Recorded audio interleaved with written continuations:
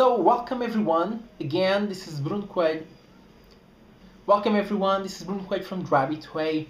This video is for one of my subscribers of the Dream List that shared this email with me. So Bruno, I have a conflict of interest with my current job and I'm not able to start my online business. I actually have two ideas and they are a conflict of interest. So I have three issues really. Well, number one, coming up with an idea that isn't a conflict of interest. Number two, procrastination. right. We all, like we all do, right? Sometimes. And number three, putting myself out there. I'm a good listener and stay in the background type of person. So thank you. I'm not going to share your name because of this whole conflict of interest with your current job. I don't want you to get into trouble, but you know who you are. And thank you for sending me this email. And so let's start. So your number one issue was coming up with an idea that isn't a conflict of interest. But think about this way. Why do you have to move to an idea that isn't a conflict of interest? Why can't your current job be like a partner where you can explore your current idea? You know, everybody talks about entrepreneurship but what not so many people talk about is this notion or concept of intrapreneurship.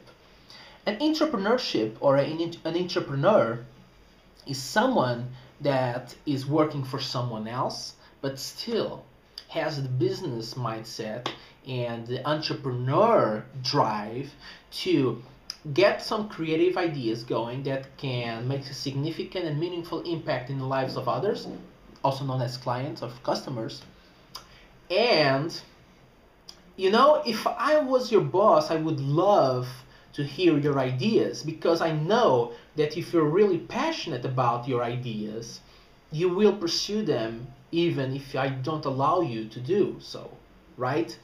Uh, so if I was your boss, I would at least uh, give you the opportunity to pitch me your idea or on how your product or strategy or whatever you have in your mind, how those ideas can actually uh, make a significant impact in the lives of my customers or clients, and by implication, how we can earn more revenue by doing so. So, one of the things that might have uh, some you know significant impact in your mm-hmm. decision of doing this is by being not sure or why you should share this idea with mm-hmm. your current job. If they will get all the profits and you're absolutely right you know? That's why i also believe that you should also besides pitching your idea if they are if they are interested in in your idea uh, you should also talk about how you could uh, be rewarded by it you know? So you not only you will have the opportunity to explore your idea in your current job but you also have a significant impact in your revenue right? So I did this on my own day job. I pitched my idea my my bosses um, that gave me that opportunity. It didn't work out so well. They thought that my idea wasn't worth exploring um, there, but it, it was okay, right? Because I had this opportunity. They gave me some useful feedback, and we all won. Besides, I didn't stop there. I started exploring that idea um, out of office hours. So you you literally have nothing to lose. But if you really want to get another idea that isn't a conflict of interest, you just have to mix your skills, your unique gifts with your dreams. You know, if you have this uh, perfect notion of what you love to do, what your passion is, and what your unique gifts are, and how others can benefit from what you're doing, that's where magic happens. And if this the ideas that goes that go around or that come from this process are also a conflict of interest then i would follow these steps i would share them with my current job don't worry of no, don't be afraid of them stealing your idea because if it's any good they'll say that you're crazy. So if they say that you're crazy and they give you permission to just say forget about it focus on your work then you always have your own time after office hours right? So keep me posted about your uh, journey on those ideas. Number two procrastination. Well what is procrastination? It's about uh, believing that we have tomorrow to do what we need to do today, right? And to, for me, what works to kick my butt and do what I need to do right now is to remember that we do not have any second of life granted. You know, we might not have tomorrow, even though we believe that tomorrow is granted, but it's not. Each breath that you're taking right now isn't granted.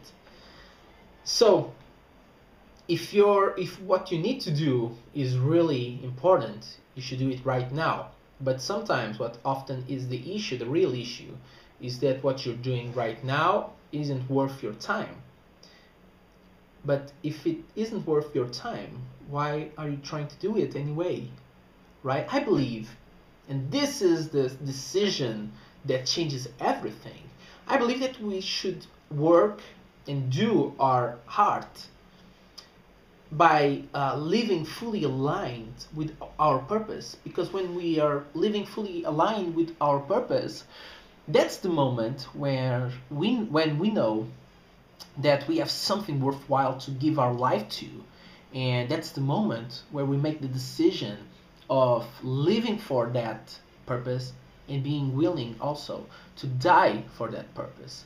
So everything that comes from from that purpose driven life those tasks are worth your time. And another thing that you need to do is this. You have your purpose you have your mission but you have to find what's your big why.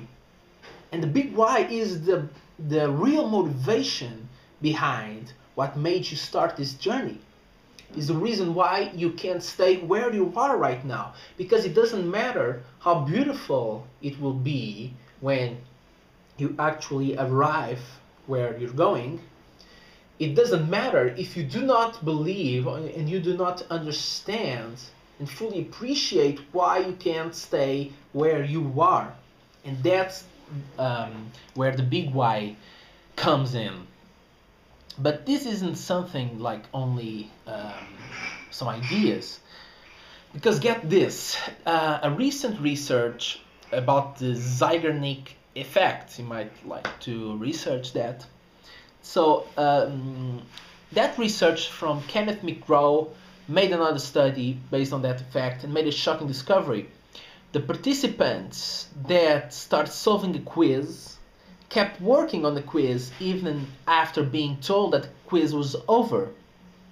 So picture this, you were solving a quiz for uh, a research, a test. The researchers answered and say to you, well, the test is over, you can stop now. But the people that were being tested, the real test was this, they kept trying to solve the puzzle, even though it wasn't counting anymore. And get this, it wasn't just some few participants that did this, it was 90% of, them, of them. So what's the lesson here? The lesson here is once you start it, your brain wants to end it, you know, because we're wired to, um, to, to reach for a conclusion.